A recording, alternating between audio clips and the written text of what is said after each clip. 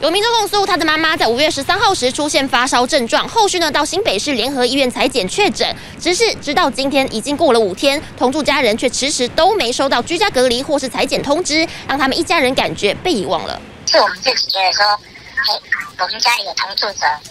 有确诊，所以我们自己就是已经要自己在居家隔离了。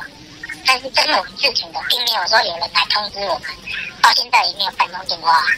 王先生说，他妈妈因为在万华工作，万华爆发染疫后，妈妈在十三号感觉发烧等症状，立刻去做裁剪，十七号收到确诊通知，十八号被送医治疗，目前状况已经好转。但同住家人中有三名大人和两名小孩是妈妈的密切接触者，却迟迟没接到居家隔离或裁剪通知，让他们很心慌，只能自己打电话和一九二二求救。我自己要做好，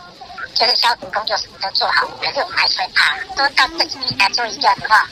那已经事发过一个一个礼拜了，那你再去追，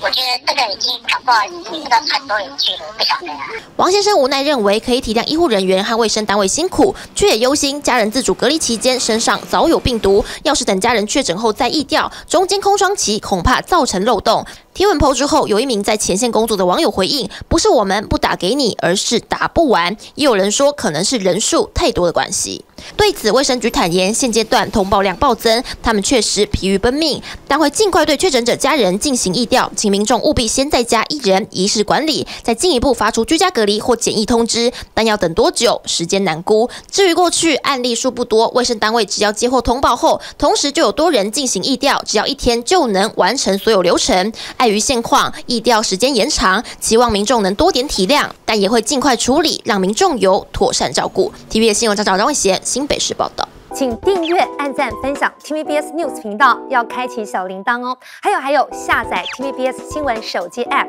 随时掌握国内外大事。